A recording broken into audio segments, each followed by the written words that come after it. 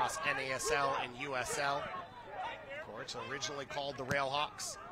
As this shot off the post, and the goal off the rebound. I said, lock in early. And what a moment for this team. It was Lucas Della Rosa with the opening strike. So, how does North Carolina FC react? See the scores around the fields here as this strikes in the top corner. And there's my answer. What a moment from Brian Shriver. Put together by AJ Dela Garza, currently leading the Jackson Boom. As that requires a touch from Nick Platter. Steele now with the shot. He's done everything but score so far this tournament. Well, check that one off the list for Cameron Steele. Raising their voices in support. This ball stuck in. It's bouncing down in the box and cleared away. It'll come up on Sunday. But this, the final match of day one, the second of the group stage. That stinging drive from Duvernay, saved by Pickett. The last match of the tournament to play. The local fans coming out to support everyone who's here for this night session coming around as Schuler trying to create space. The shot blocked out. The second opportunity. And we've got the equalizer. Less than 30 seconds into this second half. And Michael Palacio ties it up.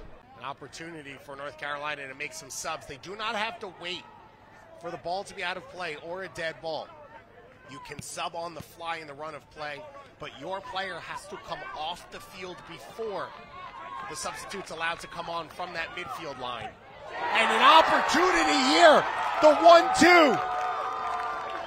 And you see what it means to Koboljar. He's been battling since this game started. Under the lights, the final match of this day of action. FF and Jackson Boom on the field next to us, about to enter target score time. Del Rosario finds Steele, and Steele doubles the lead.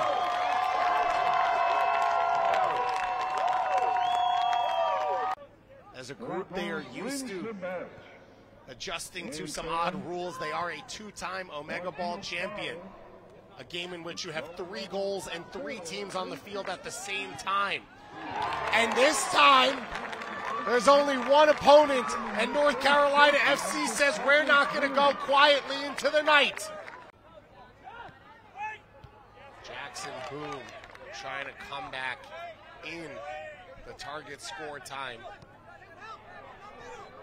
Keep you updated on that one. Ibiaga's cross played in. A chance, and Austin da Luz. The club legend coming back for one last run. Robbie Cristo battling. Duvernay brings the support. He doesn't get there quick enough. The ball's still alive, and Steele almost has his hat trick. The 41 year old comes out of retirement. A huge save by him, but only for a moment. As Robbie Cristo, the former North Carolina FC player, refuses to celebrate against his team.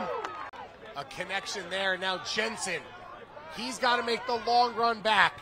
All the way up the other side of the field. Schuler's shot is saved.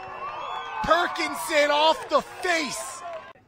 North Carolina needs two goals unanswered to steal the three points. Raleigh, just a single strike. And they will move to first place in the group going into the final game. Space here to create. da Luz has his second. It's over the line. And we are in next goal win territory. Parkinson restarts play quickly. Jensen here. Is this the moment? It's knocked through the box and cleared away to Schippeline. Not able to get it under control. Al Badawi now. Waiting for runners, his strike easily handled by Perkinson. Ackley knocked away by Jensen. Dominic Jensen, one of the performances of the tournament. Kobelzar for the winner!